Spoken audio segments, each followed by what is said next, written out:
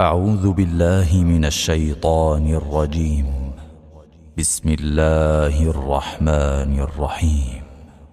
والعصر إن الإنسان لفي خسر إلا الذين آمنوا وعملوا الصالحات وتواصوا بالحق وتواصوا بالحق وتواصوا بالصبر.